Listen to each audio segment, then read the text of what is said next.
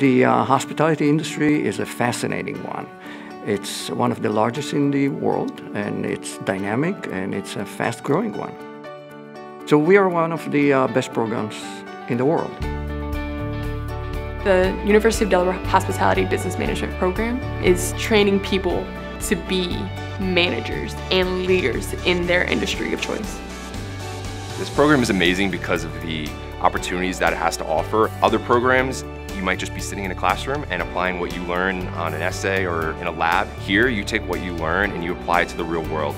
We have so much hands-on experience working in a restaurant, working in a hotel, but what makes us different is they teach you about the business as a whole. A lot of other hospitality programs, you don't get a full business degree, you don't get to learn about accounting and finance and revenue management, but in this particular program, I got to learn about all those concepts like analyzing the profit and loss statement, um, budgeting, forecasting, food cost, beverage cost. Without learning these things in the program, I wouldn't be able to do that today.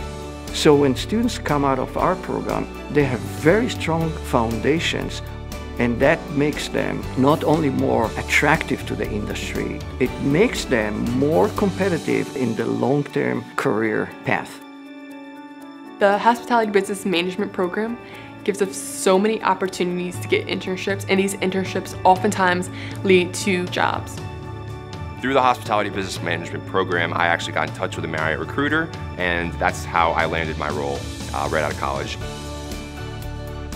For me personally as a teacher, the most wonderful thing to hear is how what they learn here contributing to their career and it continues to contribute.